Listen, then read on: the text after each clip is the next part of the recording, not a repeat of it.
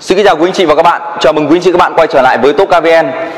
À, ngay ngày hôm nay thôi thì mình cũng vừa nhận được những cái thông tin cơ bản nhất về những cái thông tin về Hyundai Santa Fe năm 2021 và đâu đó những cái thông tin này có chắc có lẽ đâu đó đúng khoảng tầm 80%. Còn về sự chính thức hay là cái thông tin ra mắt chính thức của Hyundai Santa Fe mẫu model 2021 như thế nào thì đâu đó thì uh,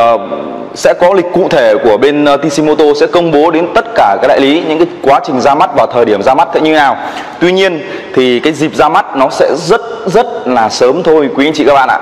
Đó, nó chỉ trong một khoảng thời gian tới thôi. Còn uh, đó là về thông tin về cái cái cái thời điểm ra mắt của Hyundai Santa Fe mẫu model 2021. Còn về cái mức giá thì uh, loáng thoáng mình cũng nhận được thông tin của Santa Fe 2021 nhưng mà cái giá thì cũng tương đối là bất ngờ đối với nhiều khách uh, những khách hàng nào quan tâm về Santa Fe mà cái mẫu model mà 2021 ấy mức giá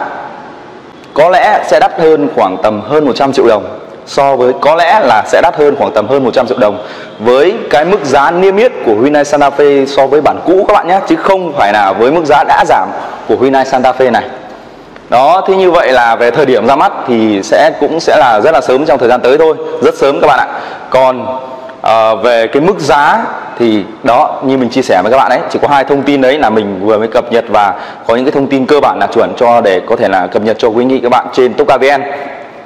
còn uh, những anh chị nào mà biết muốn biết thêm những cái thông tin cụ thể chính xác hơn mà tại thời điểm nào đó mà mình có thể cập nhật được một cái thông tin chính xác thì hãy liên hệ trực tiếp với mình theo cái số hotline đặt ngay bên dưới video này để mình có thể báo lại các bạn về những cái lịch ra mắt và cái quá trình ra mắt nó như nào một cách nhanh gọn nhất cho quý anh chị các bạn. Còn uh, nói về Hyundai Santa Fe khi mà có những cái thông tin như vậy của Santa Fe 2021 uh, model 2021 thì chúng ta sẽ quay trở lại với vấn đề là Santa Fe năm 2020 này thì sẽ như thế nào?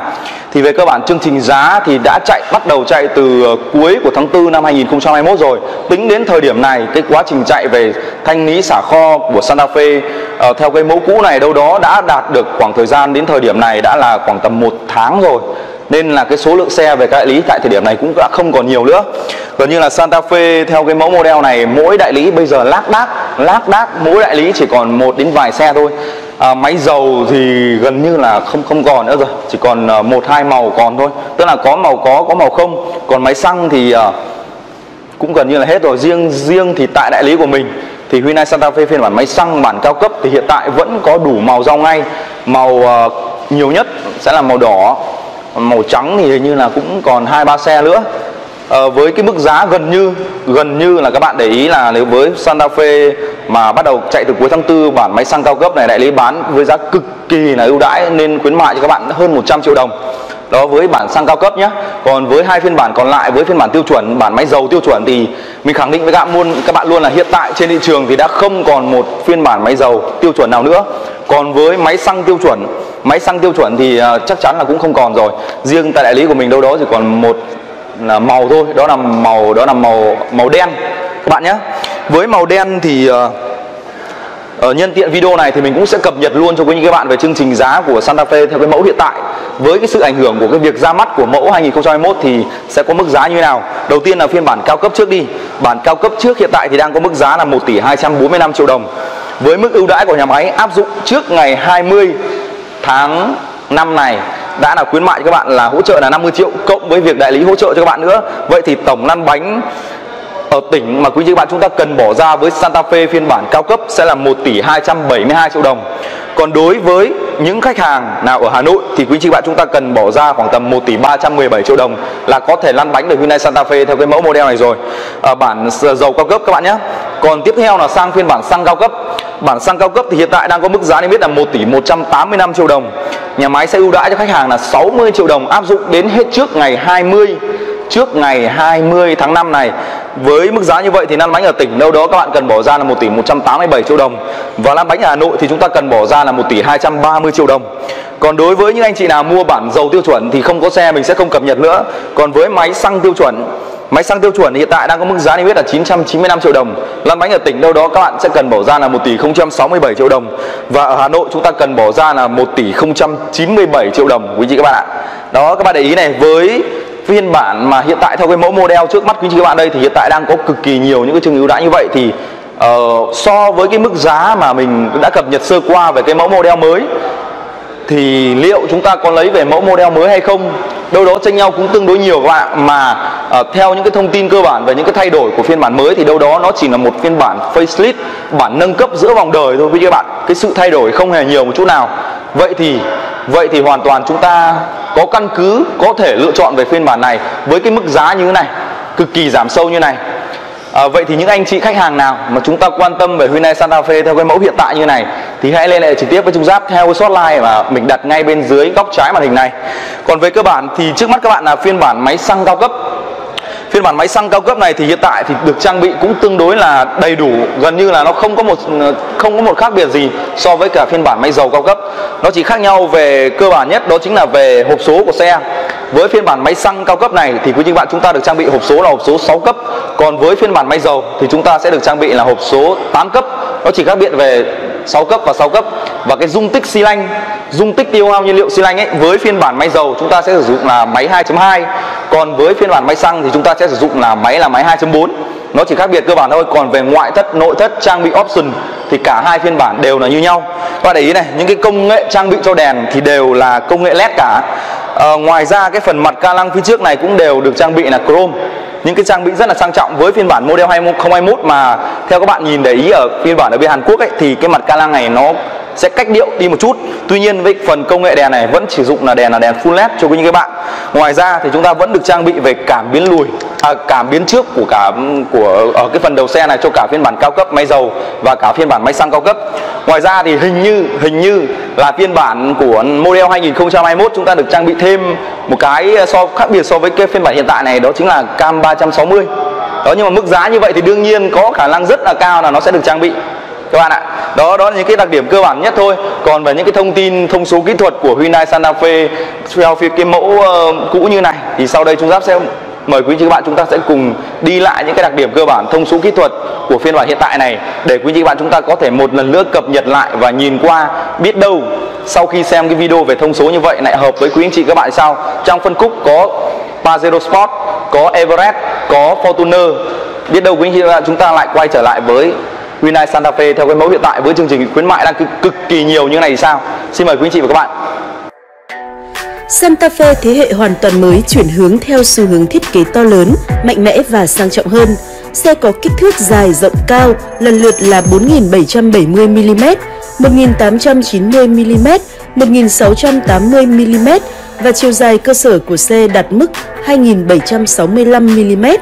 So với thế hệ trước, Santa Fe dài hơn 80mm và kéo dài trục cơ sở thêm 65mm, đem đến một không gian rộng rãi, thoải mái cho tất cả các vị trí ngồi. Xe sở hữu khoảng sáng gầm xe đạt 185mm, góc tiếp cận trước đạt 18,5 độ và góc thoát sau đạt 21,2 độ, giúp xe có thể vượt qua các địa hình khó khăn một cách dễ dàng. Thiết kế ngoại thất của Santa Fe mang xu hướng cơ bắp hơn với lưới tản nhiệt dạng thác nước Cascading Grill với các nan tổ ong cỡ lớn đặc trưng. Kết hợp vật liệu chrome đen sang trọng lịch lãm. Hyundai Santa Fe sử dụng một hệ thống đèn phía sau LED 3D tạo cảm giác ma trận ánh sáng và có chiều sâu. Bên cạnh đó, bộ la răng 19 inch có phong cách mới cũng tạo ấn tượng đặc biệt khi chuyển động. Hyundai Santa Fe thế hệ hoàn toàn mới sở hữu một không gian nội thất sang trọng với các đường gân mạnh mẽ tạo thành kết cấu khung vòm liền mạch cho khoang lái. Nguyên lý thiết kế HMI Human Machine Interface được áp dụng và nâng lên một tầm cao mới, giúp Santa Fe sở hữu không gian nội thất đẳng cấp, tiện nghi nhưng vẫn hoàn toàn dễ sử dụng nhất trong phân khúc. Bảng đồng hồ trung tâm là màn hình điện tử kích cỡ 7 inch Tùy theo chế độ lái mà cụm đồng hồ này có thể hiển thị theo nhiều màu sắc khác nhau. Đồng hồ này có thể tùy biến hiển thị hai định dạng analog hoặc digital tùy thuộc vào sở thích của người lái.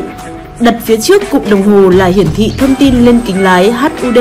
Head-Up Display, hiển thị chi tiết các thông tin hữu ích.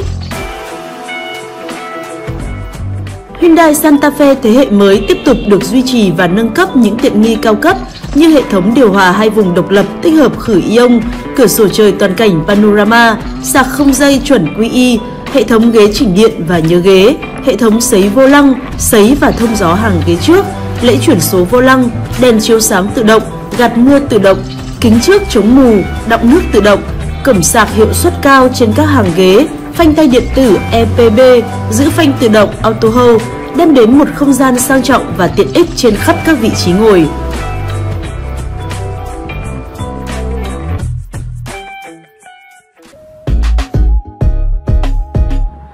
Lựa chọn thứ hai là động cơ dầu 2.2 lít cho công suất cực đại 200 mã lực và mô men xoắn 441 Nm. Đáng chú ý trong lựa chọn này là đi kèm hộp số tự động 8 cấp mới, mang tới khả năng vận hành ưu việt tại mọi chế độ. Tất cả các phiên bản đều được trang bị hệ thống Drive Mode với 4 chế độ Eco, Comfort, Sport, Smart, mang đến những trải nghiệm khác nhau cho mỗi khách hàng. Hệ thống này can thiệp vào tốc độ chuyển số, độ nặng nhẹ vô lăng, độ nhạy chân ga, đáp ứng từ nhu cầu nhẹ nhàng êm ái ở chế độ Eco, thể thao uy lực tại chế độ Sport hay thông minh học hỏi thói quen của người lái ở chế độ Smart.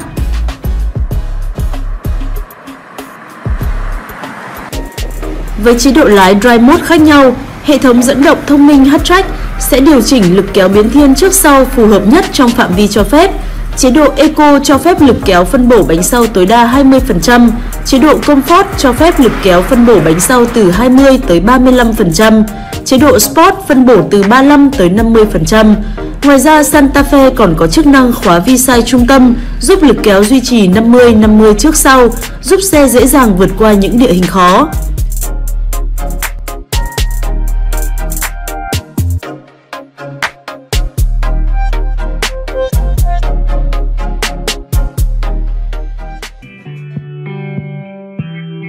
Hyundai Santa Fe mới vẫn thừa hưởng tất cả những tính năng an toàn cao cấp nhất của Hyundai, đó là hệ thống chống bó cứng phanh ABS, hệ thống hỗ trợ phanh khẩn cấp BA, hệ thống phân bổ lực phanh EBD,